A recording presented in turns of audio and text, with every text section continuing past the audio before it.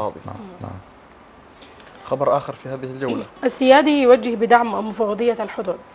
وجه مجلس السيادة الانتقال يوم الاثنين بدعم المفوضية القومية للحدود بما يمكنها من القيام بدورها على الوجه المطلوب باعتبارها الجهة الرسمية المنوط بها تحديد حدود السودان الحقيقية لفرض السيادة عليها.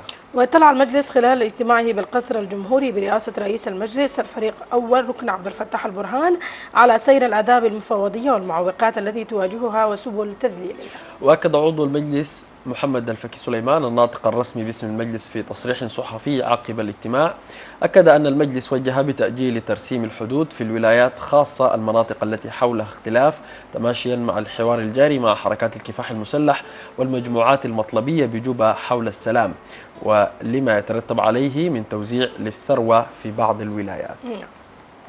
الشيخ بالنسبة لي يعني تحديد الحدود. بالنسبة لتحديد الحدود رغم أنه عندنا اشكالات قديمة مع مع مع مع الدول اللي أصلا كنا محددينها في السابق زي مصر وزي زي كي زي آه، إثيوبيا. لكن أطول حدود هي مع جنوب السودان وأغلب الإشكالات الآن هي في مع جنوب السودان في منطقة طبيعي ما- عدة مناطق ربما تصل إلى العشرة مناطق فيها فيها إشكالات. والإشكالات دي أغلبها ل- لهذا أنه ال- المشرع ال- ال- المسؤولين رهنوا الموضوع بتحقيق السلام.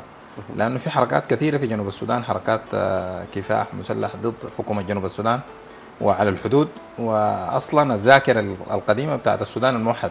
نعم. فبت... ففي حتات كثير الآن دخلوا فيها وبيتحركوا على أساس أنها هي جزء من جنوب السودان. وهي جزء وليست متنازع حولها حتى يعني. لكنها الآن في في اختراقات كثيرة في قرب بجبيها ده غير بيي وده غير المناطق هنا جنوب النيل الأبيض. فأنا بفتكر أنه تحقيق السلام في السودان وفي جنوب السودان آه بيكون الخطوة الأولى لأنه نحن نرسم الحدود مع جنوب السودان لأنها أطول حدود وأصعب حدود يعني.